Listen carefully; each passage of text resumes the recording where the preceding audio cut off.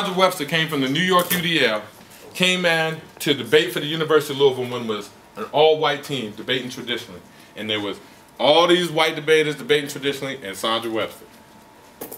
And Ede said, I'm building this program for Sandra. And before Sandra graduated, she saw 30 people drive into a van together, singing, walking in hand in hand, going into the first tournament. That was Sandra, that was that was the that was Ede's gift to that one right there. And so everybody that came after that, that was her senior year in a picture. All them people, including Tiffany, all them people called Sandra mom. That's Tiff. Yeah, that's that's Debo right there. That's Debo right there. That's Debo right there. Whoa. And that's Cora.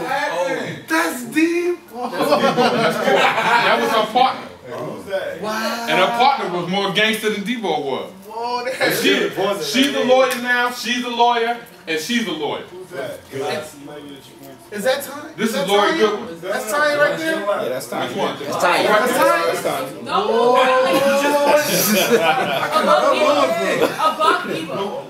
Right, right here?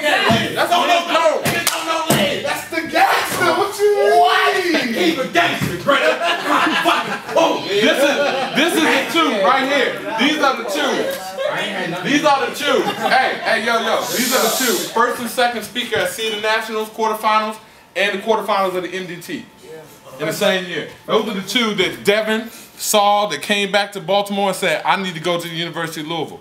Because I need to be a part of that. After they saw them debate, the team blew back up.